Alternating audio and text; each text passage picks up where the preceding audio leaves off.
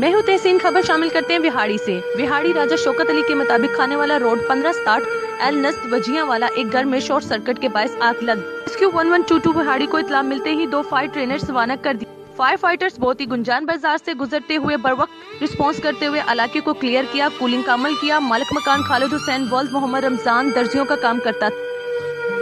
subscribe to our channel clicking subscribe button and bell icon